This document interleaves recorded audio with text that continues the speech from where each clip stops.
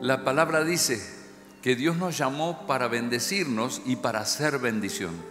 Cuando somos bendición a otros, cosechamos más bendición para nosotros. Así que la mejor manera de estar muy bendecido es ser bendición a otros. Aquí vamos, el texto está en Romanos 10. Vamos a leer desde el 8, dice, la clave de todo esto es el mensaje del Evangelio. Por eso habla del mensaje dice, el mensaje está muy cerca de ti, está en tus labios y en tu corazón. Le está hablando a cristianos. Y ese mensaje es el mismo mensaje que nosotros predicamos acerca de la fe. Si confiesas con tu boca que Jesús es el Señor y crees en tu corazón que Dios lo levantó de los muertos, serás salvo pues es por creer en tu corazón que eres declarado justo a los ojos de Dios y es por confesarlo con tu boca que eres salvo. Ese es todo el gran mensaje de Dios. Si tomamos ese mensaje como semilla y lo hacemos como Dios quiere, vas a ver cómo los que te rodean son transformados y empieza un círculo virtuoso de bendición. Ellos van a conocer a Dios, van a cambiar sus vidas, va a aumentar su alegría, va a aumentar su dinero, va a aumentar sus buenas relaciones familiares, va a aumentar su relación con Dios y vas a cosechar que vas a tener mejor relación con Dios, más bendición, vas a tener mejor armonía en tu familia y vas a cosechar bendiciones de lo que estás sembrando en otros. ¿Le gustaría que Dios haga algo fuerte con usted en invasiones? Así que para eso necesitamos entender la condición en que ellos están y cuál es la razón por la que todavía están fuera del reino de Dios. Romanos dice, el mensaje está muy cerca de ti, está en tus labios y en tu corazón. Dios le dijo, no toméis nada para el camino, en Lucas 9, ni bordón, ni alforja, ni pan, ni dinero, no lleves dos túnicas, no lleven alforja, no lleven billetera, no lleven sandalias de repuesto. Con el mensaje en nuestro corazón y en nuestros labios, alcanza. ¿Quieres ver la gente salvada? No tenés que hacer cosas raras. Solamente el mensaje que en ti alcanza. Tenemos que estar listos para desatar el poder de ese mensaje. Y sigue diciendo. Y ese mensaje es el mismo mensaje que nosotros predicamos acerca de la fe. Aquí le resumo el mensaje para que usted sepa que no es que predicamos que, mm, que nosotros hacemos así, que tenemos culto en vez de tal cosa, que este, los pastores se casan y los curas no, y todas esas cosas. Limpia todo eso. El mensaje, en resumen, es, si confesás con tu boca que Jesús es el Señor y crees en tu corazón que Dios lo levantó de los muertos, serás salvo. Entonces, el mensaje está en mi corazón. Yo creo. El mensaje está en mis labios. Yo confieso con mi boca que Jesucristo es el Señor y que Cristo lo levantó y que el Espíritu Santo lo levantó de los muertos. O sea, el mensaje es simple, demasiado simple. No necesitas saber más que eso. Pablo era el erudito más importante que se levantó en el Evangelio, en el Nuevo Testamento, porque había sido el más importante maestro de la ley. Era el mejor de todos. Pero para predicar él dijo, no, no puedo empastar el mensaje. Dijo, desde ahora en adelante yo voy a predicar a Cristo y a este crucificado. Punto. Me propuse no saber nada, sino solo a Cristo y este crucificado. Si sabes eso, que Jesús fue levantado de los muertos y resucitó para darnos vida nueva, ya alcanza. Pues es por creer en tu corazón que eres declarado justo a los ojos de Dios. Y es por confesarlo con tu boca que serás salvo. Como nos dicen las escrituras, todo el que confíe en Él jamás será deshonrado. Y no hay diferencia entre los judíos y los gentiles cuando creen. Ambos tienen el mismo Señor, quien da con generosidad a todos los que lo invocan. Pues todo el que invocare el nombre del Señor será salvo. Y de todas estas palabras yo destaco una, todos. Todo el que invoca el nombre del Señor será salvo. ¿Quién será salvo cuando invoca el nombre? Incluye a tu pariente más difícil. Incluye a tu, a tu vecino. Incluye a, a tu empleado, incluye a tu jefe, incluye al que te pase cerca. Todos, digan conmigo, todos. La visión de Dios es todos. Sí, todos menos mi hijo rebelde, porque ese no lo toca a nadie. Todos, es todos. ¿Le cree a Dios o no? Pero ¿cómo pueden ellos invocarlo para que Dios los salve si no creen en Él? ¿Y cómo pueden creer si nunca escucharon de Él? Alguien dice, no, no, no, todo el mundo sabe quién es Cristo. Claro, los agnósticos sin fe, le preguntas si saben quién es Cristo y te van a decir que sí. Los religiosos que están en una religión equivocada, dando vueltas y ofreciéndole este, incienso a los animalitos o lo que sea, también hablan de que conocen a Cristo. El asunto es que hayan oído de alguien que tenga el mensaje del Evangelio y que desde el Espíritu Santo se los pueda compartir con convicción. Si no han oído, escucharon lo que le dijo el, religioso aquel, escucharon lo que le dijo el, el oh, sí, porque el flaco de barba me va a hacer tal cosa y qué sé yo, y todos tienen su, propia, su propio mensaje, pero el mensaje es uno solo, que Él es el Hijo de Dios que Dios lo resucitó de los muertos y el que cree en Él será salvo. Ese mensaje tan simple, cuando usted lo tiene en su corazón, tiene poder para transformar vidas. He hablado con gente que estudió teología de todas las religiones. Y cuando le das el mensaje se quedan diciendo, bueno, ahora enséñame. No, ese es el mensaje entendelo, capturalo. Y cuando se le revela, su vida cambia para siempre. Y empieza un pequeño cielo en la tierra. ¿Y cómo pueden creer si nunca han oído de alguien ungido que se lo diga? ¿Y cómo pueden oír? ¿Y cómo irá alguien a contárselos si no han sido enviados? Por eso las escrituras dicen, qué hermosos son los pies de los mensajeros que traen las buenas noticias. Cuando miran desde el cielo, los ángeles, los que han sido salvos y están con Dios, Jesús mismo desde el trono, y te ve caminando un día de invasión y dice, qué belleza esos pies. En el mundo espiritual, alguien que va caminando hacia algún lugar para llevar las buenas noticias, enciende todas las luces en los cielos. Aquí en la tierra alguno te va a mirar raro, alguno se va a burlar, alguno va a decir, ¿por qué no te va a trabajar en, algo que te dé plata en vez de hacer eso? Y no entienden que estamos conectados con el cielo y que el cielo aplaude cuando alguien da un paso, dos pasos, tres pasos con el objetivo de llevar el mensaje del Evangelio. Sin embargo, no todos aceptan la buena noticia, porque el profeta Isaías dijo, Señor, ¿quién ha creído nuestro mensaje? Así que, la fe viene por oír, es decir, por oír la buena noticia, la palabra de Dios acerca de Cristo. La fe de salvación aparece en la persona cuando un hombre o una mujer de Dios que tienen el mensaje y tienen a Cristo en su corazón, sueltan el breve mensaje sobre ellos. La luz se enciende. ¿Por qué a veces cuesta que la gente reciba? Masivamente, si es tan bueno, todo el planeta debería ser cristiano en un instante. Dice, explica el Espíritu Santo en la segunda carta que el apóstol Pablo le escribió a los Corintios. Pero si nuestro evangelio está aún encubierto entre los que se pierden, está encubierto. En los cuales, los que se pierden, el Dios de este siglo, un Dios con minúscula, el diablo, cegó el entendimiento de los incrédulos para que no les resplandezca la luz del Evangelio de la gloria de Cristo, que es la imagen de Dios. Tu mensaje y tu vida reflejan la gloria del Dios eterno, pero el diablo los cegó, cegó el entendimiento de los incrédulos. Por eso con corazón sincero te dice, ¿cómo es esto? Así, así, así, así. Y te dice, ¿entendiste? Pero es simple.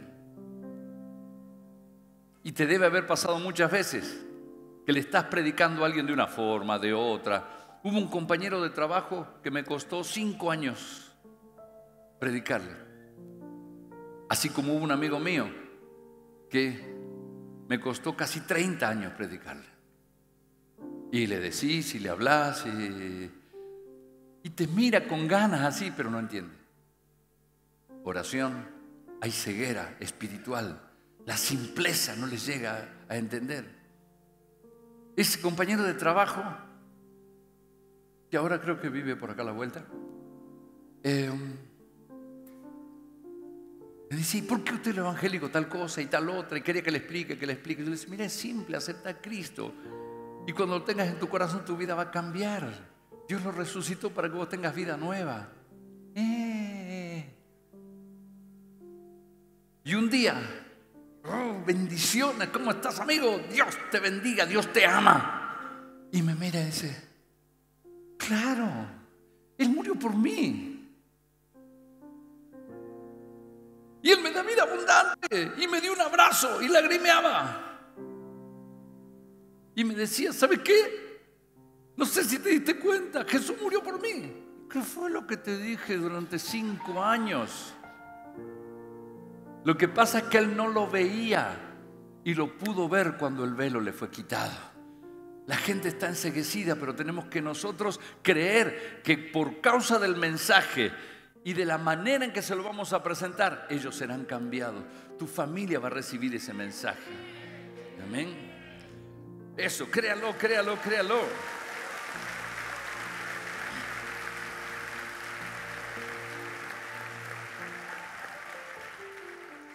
En la misma carta, un poquito más adelante, dice, Satanás, quien es el Dios con minúscula de este mundo, ha cegado la mente de los que no creen. Son incapaces de ver la gloriosa luz de la buena noticia.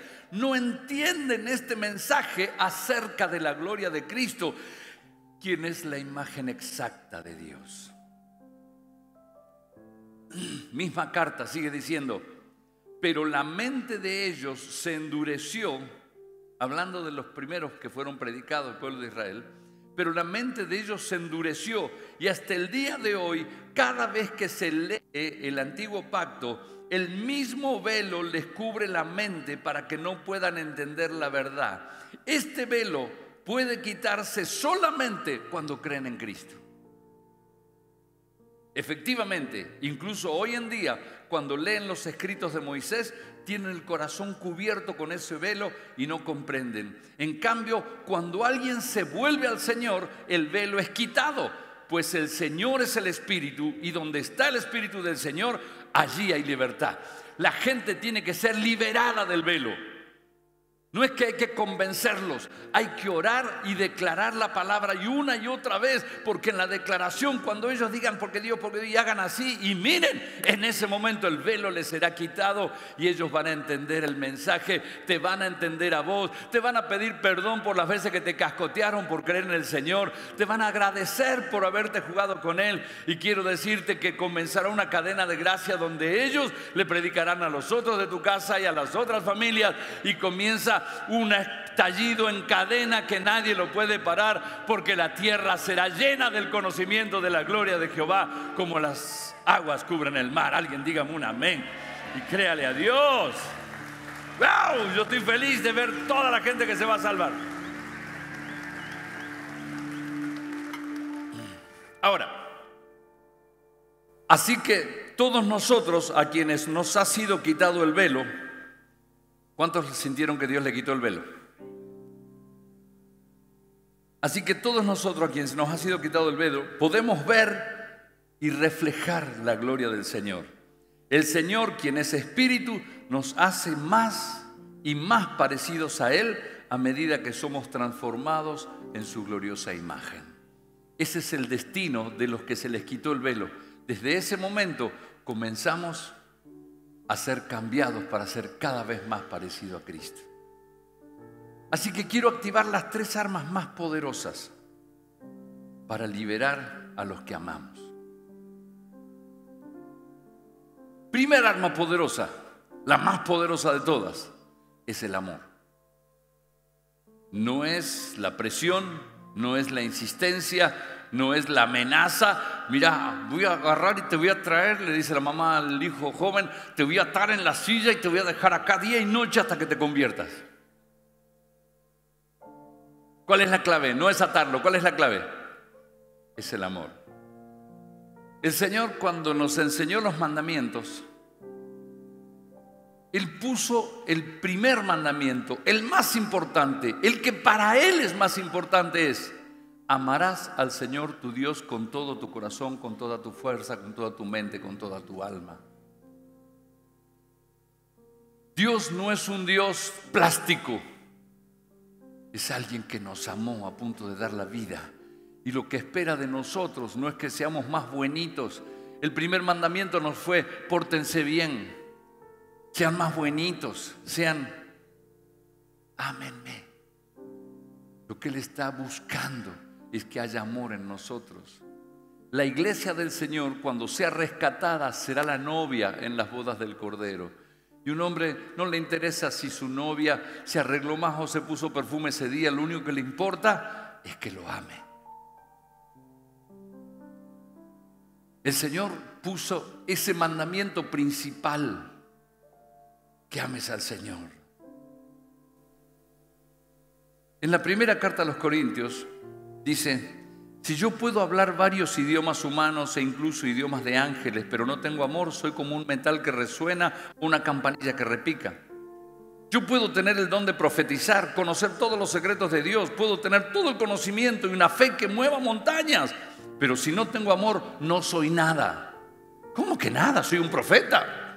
Profeta vidente, te puedo decir hasta tu número de documento, número de teléfono, te puedo decir cualquier cosa. Si no tenés amor, Dios dice, no sos nada.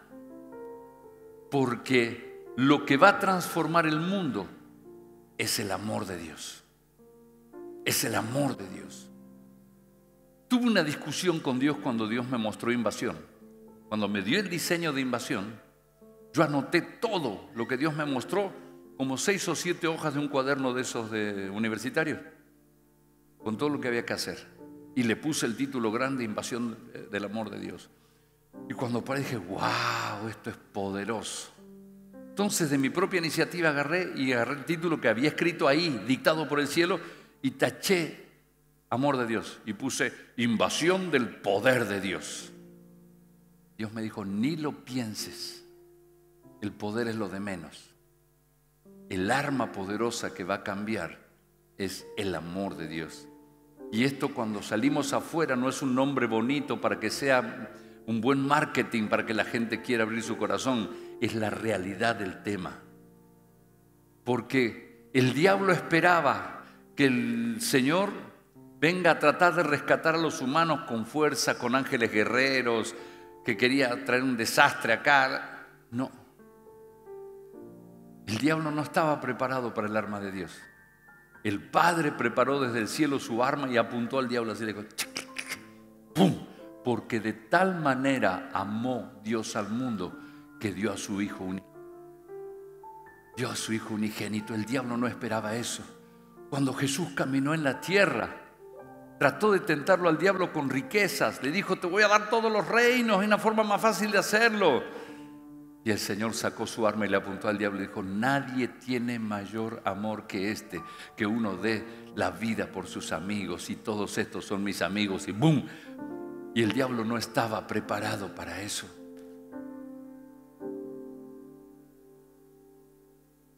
Él pensó cuando estaban llevando atado a Jesús a recibir el castigo salvaje que le dieron, que habían logrado doblegarlo. Dijo, listo, este lo tengo adentro. Y dijo, por ahí se levanta de los latigazos y me, me sopla y me muero no hizo nada. Cuando lo llevaron a la cruz, cuando lo crucificaron, dijo, listo, no hay vuelta atrás. Lo derroté, lo derroté, lo derroté. Lo vio colgado en la cruz durante horas, agonizando. Y en vez de enojarse o de bajonearse, le predicó al de al lado para que se convierta. Y cuando ya estuvo en el límite, él pegó un grito que le erizó los pelos al diablo. consumado es. Y los demonios miraron todo como diciendo que está loco, ¿qué es eso? ¿Qué sé yo? Y el diablo que más astuto lo miró y dijo, eh, lo hizo por amor. Este me venció por amor. Inmediatamente él descendió al infierno y despojó a los principados, a los potestades, despojó a todos con el arma más poderosa que el diablo jamás se hubiera esperado. Los, les quitó el acta de los decretos que había contra nosotros, la anuló y la clavó en la cruz y sacó todos nuestros pecados, desató el perdón por amor a nosotros. Y la muestra de amor fue lo que transformó el universo y derrotó al diablo. Dice la Biblia Fuerte como la muerte es el amor. Como llama divina es el fuego ardiente del amor. Ni las muchas aguas pueden apagarlo, ni los ríos pueden extinguir al amor que viene de Dios. Deja que Dios te llene de su amor y vas a ver que no hay corazón duro para Dios. Deja que el amor de Dios te llene. Cuando alguien te da un portazo o te insulta o trata de buscarte para, para, hacerte sentir y a veces ataca a Dios mismo con sus palabras para hacerte sentir mal, amalos. Ahí en ese momento. Y ese amor va a generar transformación. Nuestra carne no lo entiende, pero usted sí lo va a entender. ¿Cuántos entienden? Aleluya. Qué fuerte cuando el Señor quiso que sus discípulos entiendan. Él les lavó los pies antes de ir a la cruz, en esa última cena. Dice en Juan 13, era el día antes de la fiesta de la Pascua. Jesús sabía que ya era hora de dejar este mundo y regresar al Padre. Mientras estuvo en el mundo, siempre amó a sus discípulos, a sus seguidores. Pero en esta ocasión mostró su amor al máximo. Y dice en la Reina Valera, los amó hasta el fin. Aleluya. La gente va a ser liberada del velo y va a ser salvada por causa del amor. Por eso realmente esta es una verdadera invasión del amor es una invasión de amor sobre toda la ciudad, sobre toda la tierra. Al único que no amamos y lo pateamos y lo echamos fuera es al diablo. Pero a las personas, aún la peor de todas, será alcanzada por el amor de Dios. Y hasta los que no creen van a recibir y van a venir. Vamos a salir a sembrar semillas de amor en el corazón de la gente. Y el fruto que vamos a cosechar es de tremenda salvación.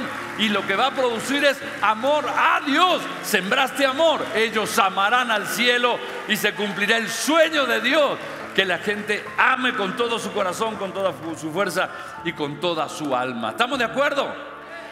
La segunda arma poderosa que vamos a usar es la autoridad de Dios, que fue delegada, la vamos a ejercer en el nombre de Jesús. Que alguien diga con voz de ejército, tengo autoridad. Míralo al diablo por ahí abajo debe andar y, ah, ya sé dónde lo tenés al diablo debajo de la planta de tus pies. Decile, tengo autoridad. Te voy a enfermar, tengo autoridad. Tu hijo se va a perder, tus hermanos también, tengo autoridad. Aleluya. Autoridad declarada.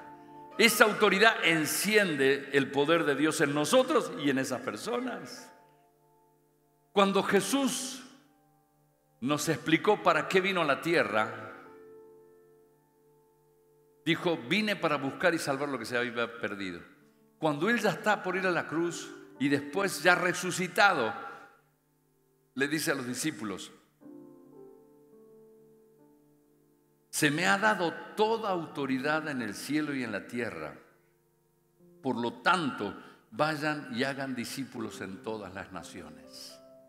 No le dijo, ya les enseñé, les puse el cuadernillo cómo predicar, ya aprende. No, no, no, no, no, no, no. La base sobre la que van a salir en su corazón es el amor, pero en sus acciones es que toda autoridad me fue dada. Salgan a la calle con autoridad. ¿Para qué sirve esa autoridad? Yo le digo a mi hijo, venía a la iglesia, dice, no quiero. ¿Y la autoridad cómo es? No, la autoridad espiritual se ejerce de otra manera, de rodillas, y estás orando y diciendo, no pienso pisar esa iglesia. Bueno, le decimos, mamá, ¿por qué te sonreís? No, por nada. No voy a pisar tu iglesia. Bueno, está bien. Dice, no te rías porque no voy a ir nunca. Tengo unos cuantos acá que dijeron nunca voy a pisar esa iglesia y están acá. ¿Cuántos dijeron eso alguna vez? La autoridad de Dios te trajo por encima de lo que pensabas. Es tiempo de empezar a ejercerlo y hacerlo y a disfrutar. Aleluya. No se ponga mal cuando le digan esas cosas. Así que él dijo, les doy autoridad para ir a ser discípulos, es para ir a predicarles y para añadirlos a la iglesia, porque dijo, les doy potestad, así que vayan y hagan discípulos. Eso es predicarles. Bautizándolos y enseñándoles que guarden todas las cosas. Eso es añadirlos al cuerpo de Cristo, añadirlos a la iglesia. La autoridad tuya no es solo para soltar el mensaje y que ellos se conviertan, sino Dios te da autoridad para que le des la mano y lo puedas hacer entrar al cuerpo de Cristo, a la familia de Dios. Vas a eh, bautizarlos, vas a, em, vas a enseñarles las cosas de Dios. Esa autoridad nadie la puede quitar. Por eso bautizándolos en el nombre del Padre, del Hijo y del Espíritu Santo. Esa autoridad el Señor la obtuvo, número uno, por su perfecta santidad. La sangre derramada fue la sangre de un cordero sin mancha.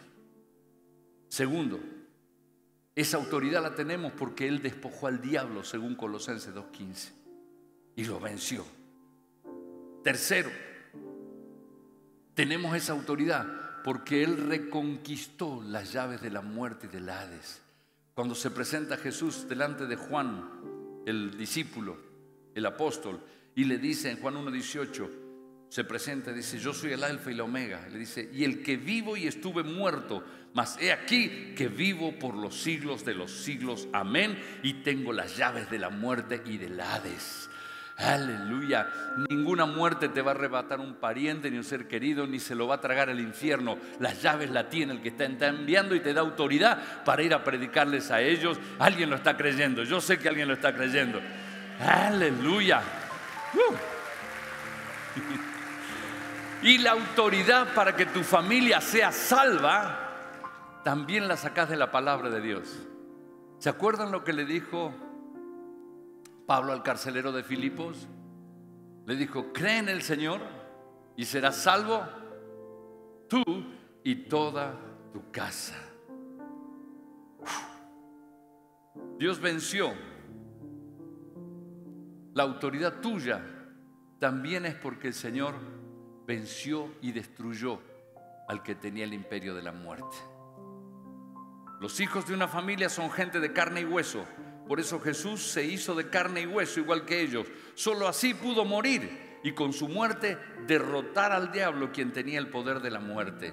En la versión eh, Reina Valera dice, los hijos para, dice, participó también en carne para morir y para destruir por medio de la muerte al que tenía el imperio de la muerte. La Biblia habla de que el diablo ya fue destruido, esa es tu autoridad.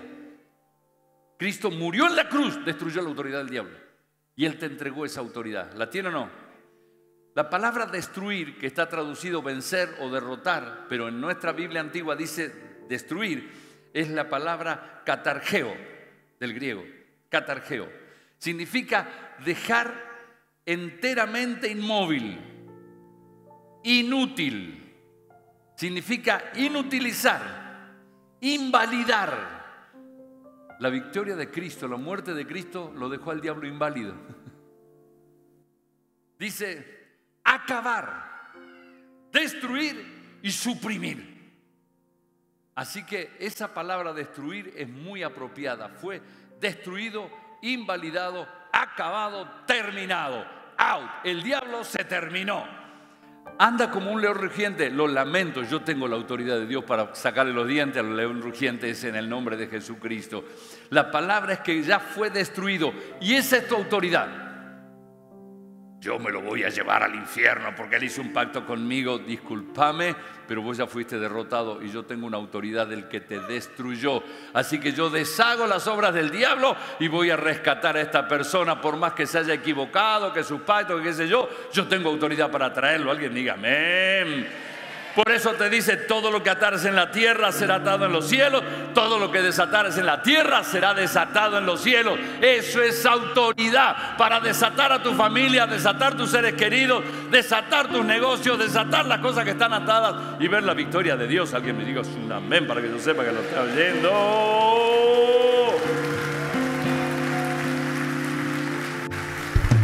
¿Y cómo, cómo funciona? ¿Cómo funciona esa autoridad? De cierto os digo, Mateo 18, que todo lo que atéis en la tierra será atado en los cielos, todo lo que desatéis en la tierra será desatado en el cielo. Y otra vez os digo, mismo pasaje, que si dos de vosotros se ponen de acuerdo en la tierra acerca de cualquier cosa que pidan, les será hecho por mi Padre que está en los cielos. ¿Te pusiste de acuerdo? Considéralo hecho, dalo por hecho. Porque esa es la autoridad que Dios te dio. Podés desatar y atar. Y si te pones de acuerdo con alguien, decís, quiero orar con vos, por mis hijos, por mi negocio, por mis parientes, por mis compañeros de trabajo. Oro, me pongo de acuerdo. Y todo lo que pide en acuerdo será hecho por mi Padre que está en los cielos. Tu autoridad es práctica, es real, se cumple. Se cumple.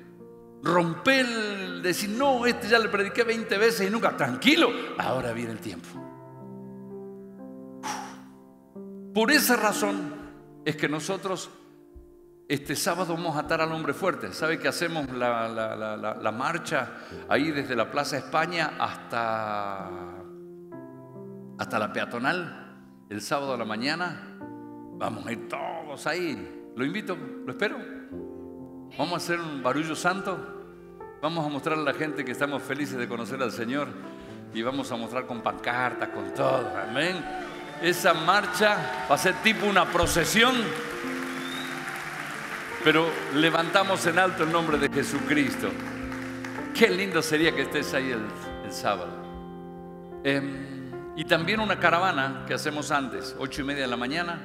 Nos juntamos acá en el. acá, nos juntamos ocho y media de la mañana, armamos todo, hacemos una caravana, pero si viene en auto y hace la caravana o viene en moto y hace la caravana, organícese para dejarlo en la Plaza de España, cerca, en cualquier lado ahí, y de ahí caminamos todos hasta la 25 de mayo.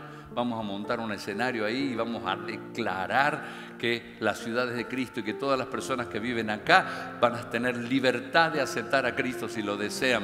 Esta ciudad no es del diablo, es del Señor. Dios está por cambiar esta provincia, Dios está por desatar riquezas en las personas cuando empiece a moverse ese despertar de Dios en la gente. Así que vamos a bendecir esta tierra este sábado, ¿eh? De la... Es este sábado. Así que consigue alguna bandera argentina, alguna cosa para la... o de invasión para la, para la caravana, pero lo fuerte que quiero mostrar va a ser la caminata que vamos a tener desde la Plaza de España. Ahí tenemos que ser una multitud que impresione. ¿Está listo para eso? Bien. Tercero y último. Salimos equipados en el amor de Dios. Salimos a ejercer la autoridad que Cristo ya puso en ti. Y lo tercero, activamos el mensaje. Predicar. La predicación del mensaje es la transformación de las vidas. No es bueno, yo ellos me ven, yo vengo a la iglesia, yo les cuento los milagros, está todo bueno. Pero lo que transforma la llave que abre el corazón de la gente es que le prediques directamente el mensaje, que si cree en su corazón que Cristo lo eh, resucitó y si él confiesa con su boca que Jesucristo es lo que él dice que está creyendo, ellos se van a convertir. Amén. Aleluya. Activemos el poder del Evangelio por la predicación. Dice Romanos 1.16, porque no me avergüenzo del Evangelio, porque es poder de Dios para salvación. Ese mensaje es poder de Dios. El Evangelio es el mensaje de salvación que estoy declarando. Ese es el poder de Dios activado. La cápsula que contiene todo el poder de Dios. Por eso transforma tanto. ¿Dónde está el sabio? ¿Dónde el erudito? ¿Dónde el filósofo de esta época? ¿No fue Dios el que convirtió en locura la sabiduría de este mundo? Ya que Dios en su sabio designio dispuso, en su sabio designio, Él dispuso que el mundo no lo va a conocer mediante la sabiduría humana. Los científicos están buscando en sus radiotelescopios digitales que alcanzan a ver donde nunca el ojo humano y ahora el oído, porque es este, también em, un radiotelescopio, capta los sonidos, capta las emisiones de, de energía, todo. Están estudiando el universo o en los microscopios más poderosos están buscando dónde encontrar a Dios, en las filosofías más profundas, en sus análisis, en los pensadores más grandes de la tierra. Ninguno encontró a Dios, porque Dios dispuso que la sabiduría humana no lo va a encontrar. Porque la sabiduría humana enorgullece y les quita el manto de la inocencia que hay que hacer para entrar al cielo. El hombre se salió de Dios por perder la inocencia. No va a permitir Dios que en ese barro de crecer y de tratar de aprender sin Dios, excluyéndolo a Dios, lo vayan a conocer. Por eso dice que en su sabio designio dispuso que el mundo no lo conozca, no lo conociera mediante la sabiduría humana. Y a Dios le pareció bien salvar mediante la locura de la predicación a los que creen. Dios cambió todos los análisis, todos los libros escritos en la tierra, todos los, estudios científicos más profundos, en donde el hombre cambiando y mutando la genética se cree semidios casi. Dios dice, por ahí no me van a encontrar. El camino para encontrarme es la locura o la ridiculez, dice en otra versión, de la predicación. El mensaje sencillo es el mismo que Jesús comenzó a predicar hasta hoy. Las cosas cambiaron, la tecnología cambió, la óptica del mundo cambió, la forma de comunicarse cambió, pero esa cápsula de poder y de amor del cielo, que es el mensaje de Cristo, sigue siendo el mismo y sigue siendo tan poderoso como el primer día. Y no hay otra forma. Ninguno de los que está aquí, ni ninguno de todos los miles de miembros de esta iglesia, ninguno que se encontró con Dios fue por un método que no sea la simple predicación del mensaje. Nadie en el mundo que es salvo lo conoció de una manera distinta. Nadie puede decir yo lo descubrí con mis estudios, con mi profundidad con mis cosas. Dios decidió que iba a salvar al mundo mediante la locura de la predicación. Los religiosos, los judíos piden señales milagrosas. Los griegos, los gentiles, los no, judíos buscan sabiduría, mientras que nosotros predicamos a Cristo crucificado. Este mensajito poderoso es tropiezo para los religiosos, para los judíos, y es locura para los incrédulos. Pero para los que Dios ha llamado, ¿hay alguno acá? Ahí conectado hay alguno. Para los que Dios ha llamado, lo mismo judíos que gentiles, Cristo es el poder de Dios y la sabiduría de Dios. Cristo es poder de Dios y la sabiduría de Dios. Cuando estás llevando el, mensaje, el mundo te arruga la nariz y te menosprecia. Tengo muchas cosas importantes para oír y no tu pavadita y tu locura. Pero Dios dice, ¿cómo se ve desde el cielo? Pues la locura de Dios es más sabia que la sabiduría humana y la debilidad de Dios es más fuerte que cualquier fuerza humana. Así que mi pequeña locurita que hace que todo el mundo me mire raro cuando estoy predicando es la más alta de las sabidurías que existe en el universo y solamente lo van a descubrir cuando el velo les sea quitado. Por eso no busco maneras alternativas. Predico el mensaje. Cree en Jesucristo y serás salvo tú y toda tu casa. Cree en el Señor y Dios te va a traer la salvación. Declara con tu boca y nadie se va a quedar en el nombre de Jesucristo. Aleluya. Conclusión del mensaje. La salvación que fue para vos es para toda tu casa también y para tu casa los que están mirando ahí. ¿Lo crees o no? Aleluya. Cuando Pablo fue a la primera célula no judía, donde vino todo el ministerio en el que usted y yo somos salvos, le dijo a Cornelio, en ese momento. Estuvimos en la casa de, Cornelio, quien nos contó cómo cómo había visto en su casa un ángel que se puso en pie y le dijo, envía hombres a Jope y haz venir a Simón, el que tiene por sobrenombre Pedro. Él te hablará palabras por las cuales serás salvo tú y toda tu casa. Los ángeles le declararon, con ese mensaje serás salvo tú y toda tu casa. Escuche, un oficial del rey tenía a su hijo enfermo. Y se fue a buscarlo a Jesús y le dijo, Señor, desciende a mi casa antes que mi hijo muera. Jesús le dijo, ve, tu hijo vive. Y el hombre creyó la palabra que Jesús le dijo y se fue. Cuando ya él descendía, sus siervos salieron a recibirle y le dijeron, le dieron noticias diciendo, tu hijo vive. Entonces él le preguntó, ¿a qué hora comenzó a estar mejor? Y le dijeron, ayer a las siete le dejó la fiebre. El padre entonces entendió que aquella hora era la hora en que Jesús le había dicho, tu hijo vive. Y creyó él con toda su casa. Cada vez que aparece alguien que dijo, yo creo, aparece la salvación de toda su familia. Hechos 18. Crispo, el principal de la sinagoga, creyó en el Señor con toda su casa y muchos de los corintios oyéndolo creían y eran bautizados. Uno se convierte y viene la oleada de la salvación de toda su casa. El primer paso es que uno se convierta. ¿Cuántos se convirtieron a Cristo? El segundo paso es que viene la oleada, toda tu casa. Alguien tal vez se ha atrevido con Dios y le pueda decir, Señor, quiero toda mi casa, toda mi familia, todo mi apellido, todos los de mi apellido, todos, toda mi familia, los que viven conmigo y los que no viven conmigo, los quiero a todos, Señor.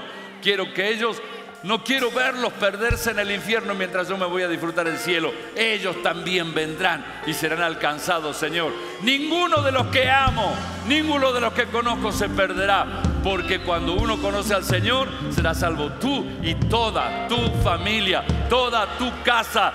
Te profetizo la salvación de seres queridos en esta invasión.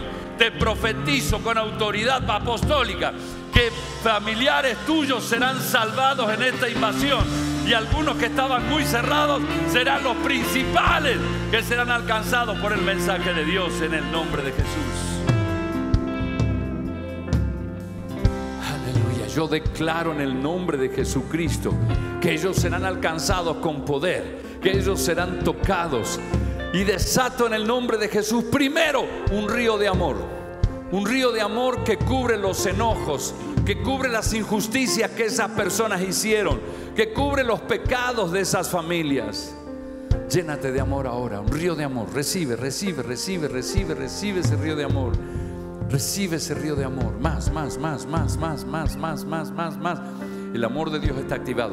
El amor de Dios está activado sobre ustedes ahora. Recíbanlo, recíbanlo, recíbanlo, recíbanlo, recíbanlo, recíbanlo, recíbanlo.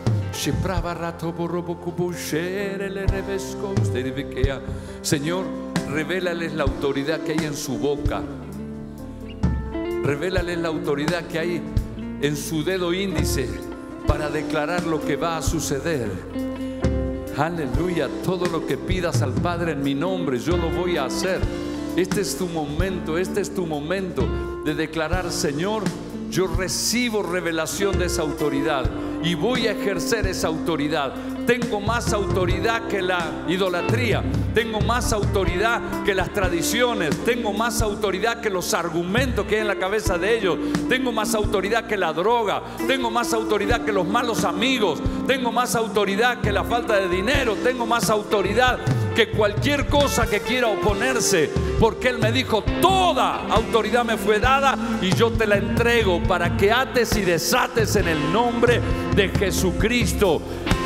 Yo declaro ahora que se renueva la fe para la salvación del cónyuge. Si tu esposa o tu esposo nunca han caminado con Dios, empezar a reclamarlo ahora porque este es tu tiempo para que ellos sean activados. Declaro en el nombre de Jesucristo la salvación y el rescate de todos sus seres queridos que se apartaron, de tus hijos, tus padres, tus hermanos que están apartados. Vuelven en el nombre de Jesucristo de Nazaret. Y declaro sobre tu vida la unción para desatar el cortito y poderoso mensaje del Evangelio. Tu boca se llenará de poder en el nombre de Jesús de Nazaret. Desde ahora, cada vez que abras tu boca frente a alguien y declares que cree en Jesucristo, que murió por él, que resucitó de los muertos y que si él cree será salvo, será un misil que explotará en las fortalezas que ellos edificaron o que el diablo edificó. Desde hoy declaro que hay sobre tu vida el amor sobrenatural de Dios que los ríos no lo pueden apagar. Declaro que tu vida está la autoridad de aquel que avergonzó al diablo en un desfile victorioso y le arrebató las llaves de la muerte y del Hades. En el nombre de Jesucristo declaro que en tu boca está el poder para que el simple mensaje del Evangelio que el mundo quiere ridiculizar transforme a cada uno en el nombre de Jesucristo de Nazaret. Amén, amén y amén. Tu casa será salva. Tu casa será salva. Tu casa será salva. A los conectados, tu casa será salva en el nombre de Jesucristo.